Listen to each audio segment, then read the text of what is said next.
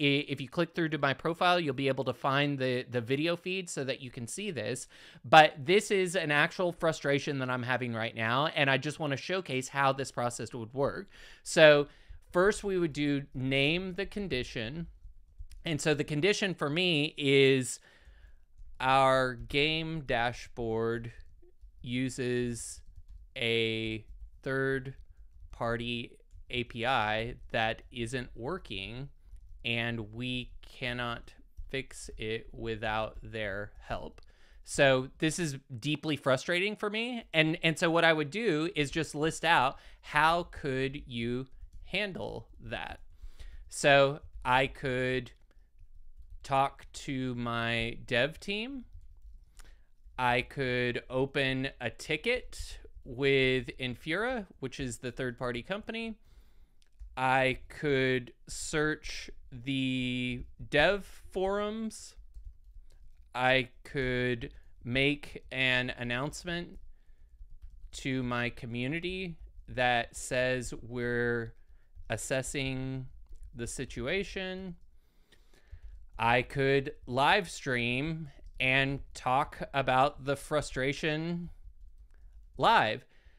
So what I'm doing, if I've actually already enacted all of these things, but but but what what I did when this first came up, is, and and because I'm so well versed in in this process, my brain just automatically goes into okay, these are the things that you could do in order to um, handle this, and then I can order whether or not it's a it's a these things are a good uh, good idea. But but um, what I want to do is keep returning to the condition until I can't think of any other thing that that I could do. So if I go back to the condition of our game dashboard uses a third party API that isn't working and we can't fix it without their help, well, how else could I handle that?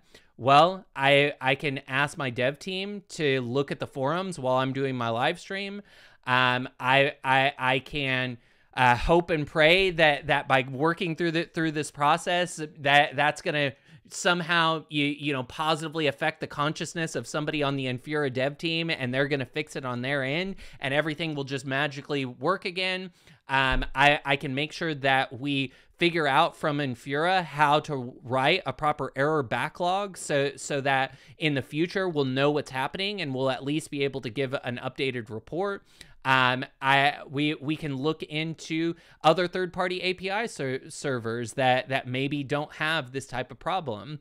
Um, we I I could just relax and and trust that you know my community understands that that sometimes tools don't don't always work and and that ultimately we're doing all of these things that that I'm saying and that will get things up and running as quickly as possible um, I could yell and scream. I could go for a run. I could punch my couch. I could swing a t-ball bat uh, uh, against um, uh, against a bag of trash. So what am I doing? As I'm saying all this stuff, a, a, lot of the big feelings that I have about this frustration are coming to the surface. And, and in that expression, I'm allowing some of that energy to vent and transmute itself. And in many ways, I believe that the more that we get back to a place of emotional balance where, where something doesn't feel actively frustrating, that that is the biggest contribution we can give to reality rendering itself in a way that is alignment with the outcomes that we want ultimately the outcome that I want is for my community to have a satisfying experience with the game dashboard. And, and, and, so how do I serve that purpose? Well, I need to get into alignment with the fact that the game dashboard working is a possibility, that that we we've had over 99% uptime, that that this too will pass, that that the Infura team is one of the better teams in crypto and that they'll be able to resolve this on their end, that I'm not the only one opening a ticket with them. literally everybody who who who opens a ticket with Infura is doing that right now. And so all of these things start to give me a hope and then a faith that ah this thing is going to be resolved. I've already done so much of this stuff before I even went on, on the live stream and, and and so what a blessing it would be for me for me to end the, the, this process and end this live stream and have everything back up and working. And even if that isn't the case, then I can continue to run through this condition because right now I'm kind of feeling pretty good good. It doesn't really feel like that's a big issue. I actually do feel like it's going to play itself out and that the wheels are in motion for that resolution. But if for some reason the the the there was a new condition that came up so maybe the the new condition that that came up for me is someone in my community will get upset that I'm live streaming rather than fixing the issue. So they, they this is probably not going to happen but what i'm doing is addressing just a subtle fear because i want to make sure that i'm wholly in emotional alignment with the outcome that i'm looking for. So if somebody in my community gets upset that i'm live streaming what are the ways that that i could handle that? Well i could feel my big feelings is what i would do first. I could um, respond to them uh, in a as articulate and emotionally balanced way as possible and give them the situation and talk to them about all the things that I had already done before I went on the live stream. I could express to them that for me, doing these live streams gives me so much energy, and that energy allows me to be incredibly productive in the project and to be able to get more done for the project. And that has allowed me to attract really interesting phone calls that, uh, the, the, this week and, and things that are ultimately going to be beneficial to what we're building as a community. And, and, and, and so by live streaming, it wasn't that I was shirking responsibility and not fixing an issue before I came on the live stream, I did all of the things that that I've said in order to set the wheels in motion of having this fixed. But the live stream for me was a commitment that I made to myself, a commitment I made to uh, the community that wants to tune in at 3 p.m. Central every single day, and, and ultimately it's an experiment this is an experiment for me in rendering reality. If i can talk about the things that i'm interested in if i can give full expression to who i am the fears worries concerns i have but also the ambitions and hopes and faith that i have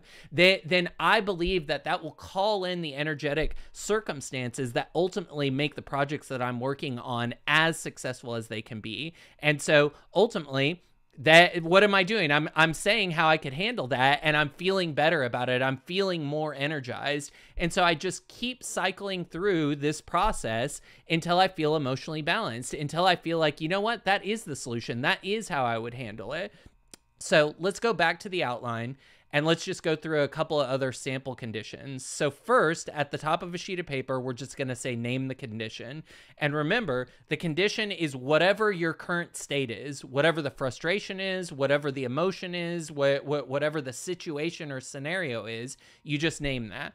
And then you list out what are all the ways that you could handle that. And the most important thing is you're not looking for the best answer. What you're looking for is creating a safe container where you can say whatever you want to say. The, the, this, this is actually how could you handle this? All bad ideas accepted. Be, be, because when you can vent your bad ideas in a safe forum within a journal, it you you're not going to enact them in the world the the energy impulse that would move you into a bad decision like that just isn't going to happen because you're going to have exhausted some of the tentacles of that so again, one of the examples was if I'm running out of money, well, how how can I handle that? I can find a new client, I can get a higher paying job, I can reduce expenses, I can go recycle cans, I I can call the SBA and see if they have any opportunities. I could join a temp agency, I could get a remote job, I could join Upwork.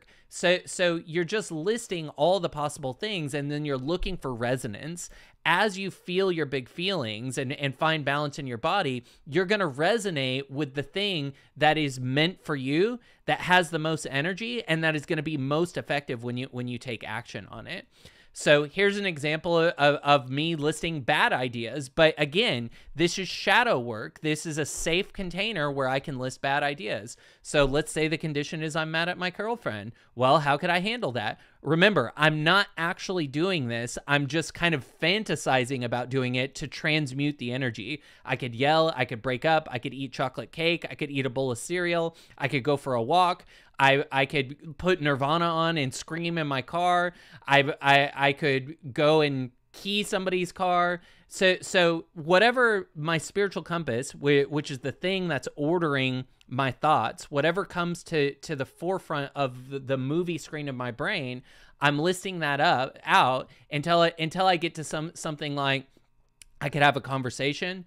I could own my part in this. I could recognize, ah, uh, actually, I am somewhat responsible for that. I could, re- I could apologize to my girlfriend for the part that I'm responsible about.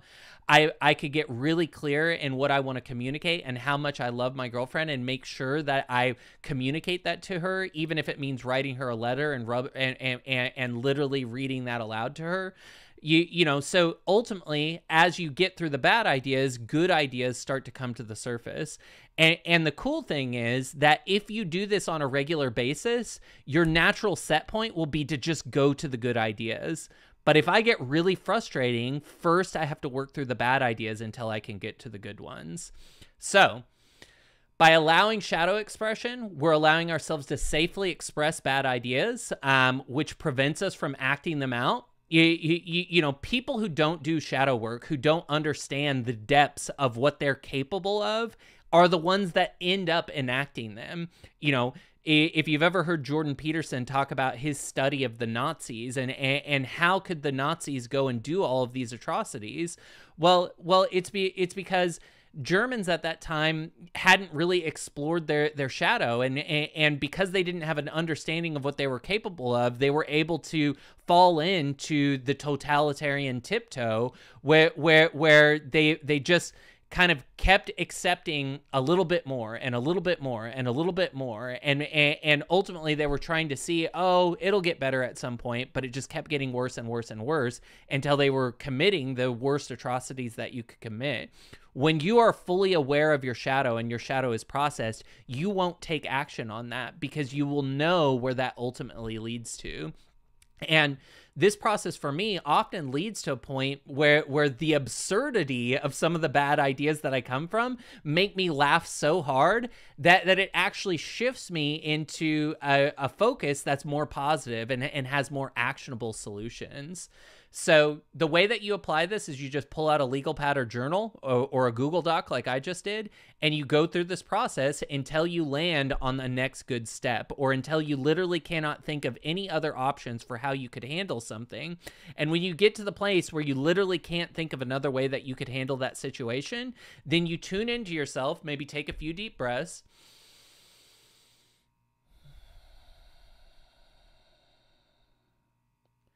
Just notice what's happening in your body. And if you haven't landed on a solution yet, you say, well, is there another condition here? Because sometimes you'll go down the rabbit hole of deeper conditions. Sometimes it'll be, well, actually, I don't really care about that thing anymore, but I don't have any friends or or I don't care about that thing anymore, but my my car insurance is out and I don't know how I'm going to renew it because I just got a ticket. So so all of these things become conditions that ultimately are locking up your energy and your energy is your potential to land on solutions. And so as you tend to all of those things that were subconscious or living in the unconscious, as you bring them to conscious awareness and tend to them, you free up that energy to then go out as tentacles and find the solutions that you're looking for so that you can consistently make right actions. All right. So I talked about one of my coaches, Dex Gelfand. Um, he has the concept of the spiritual compass, and the spiritual compass is just this idea that your brain is going to serve up the exact right thing at the exact right moment. So don't judge a thought that comes up. If it comes up, it's the thing that you need to list. So no matter how ridiculous it comes from, if you if you're frustrated and you're saying how could I handle this and the thing that comes to you is eat a bowl of ice cream, throw ice cream at a window, it doesn't matter what you're saying. It, it, this is a fantasy, and and the these linear thoughts or, or, or, these phrases are just ways for energy and, and emotion to escape your body. So just go with whatever your spiritual compass uh, goes with. Be, be because as you go from eating ice cream to throwing ice cream to oh I remember the this time that that ice cream fell on my lap. You know when my dad left us. Like it's not always going to be that profound, but this is the way that your spiritual compass moves you down the rabbit hole of your subconscious, unconscious brain. And engaging with this process while you're paying attention to the sensations and emotions that are happening in your body can quickly move you out of a feeling of being stuck and towards more powerful results. And so ultimately, whether these process wherever these processes come from power processing is something that was co-opted by scientology these processes however and many of the processes in Scientology and in many systems of, of, spirituality are just tapping into ancient wisdom and genuine spiritual practices and Hermeticism. And so if you go back to the root of the root of the root, Scientology doesn't own any of these processes. They were stolen from ancient wisdom and our our the opportunity that we have is that we can bring ancient wisdom back to the surface and the forefront and utilize these to be more effective, more loving, more aligned with truth in our lives. And so the goal is to reclaim techniques from all spiritual practices that that allow us to have maximized personal growth and spiritual communion free from manipulation and distortion.